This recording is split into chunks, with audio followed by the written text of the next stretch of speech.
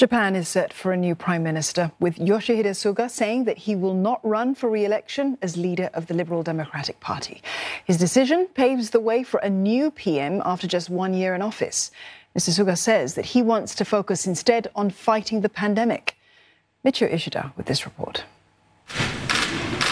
Prime Minister Yoshihide Suga has been signaling from time to time his plan to eventually announce his candidacy in the Liberal Democratic Party presidential race. Mr. Suga took over the remaining term of his predecessor Shinzo Abe a year ago, set to end this 30th of September, but he made the unexpected decision he is not running in the race. In a short doorstop with reporters, he said it's his responsibility as the prime minister to protect the lives and the interests of his people. If he runs in the LDP election, he will not be able to give his utmost to deal with COVID 19. 私自身、出馬を予定する中で、このコロナ対策と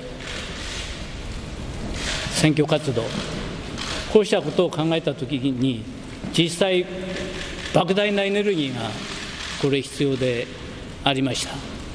まあ、そういう中で、やはり両立はできない、どちらかに選択すべきである、国民の皆さんにお約束を何回ともしています、新型コロナウイルス、この感染拡大を防止するために、私は専任をしたい、そういう判断をいたしました。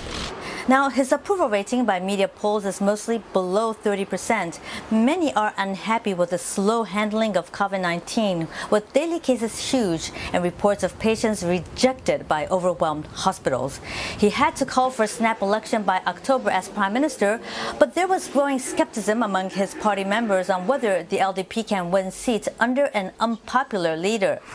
The LDP is basically made up of seven major factions. The biggest is led by Shinzo Abe, followed by a faction led by Deputy Prime Minister Taro Aso. Last year, when Mr. Suga ran in the race, most factions were behind him, but this time only two smaller factions expressed their support.